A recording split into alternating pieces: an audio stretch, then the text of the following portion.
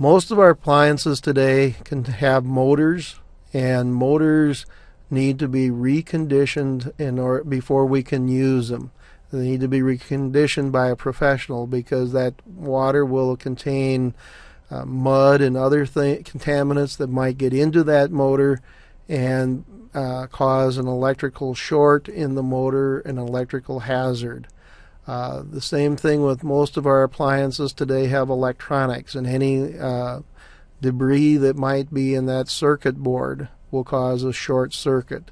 So as we look at our various appliances that we have in the home, uh, many times we're going to need to discard them rather than try to salvage them if they were in the actual flood water. Uh, if they're not in the flood water, we can clean them and, and they're fine. But if they were in the flood water, uh, typically it may not be economical to go through that cleanup process that is required. With the heating and ventilation, air conditioning system, uh, we're really looking at two different parts. Again, our furnace air conditioner unit has a lot of, again, motors and electronics. And with that, again, have a service technician evaluate it and determine really is it worth trying to clean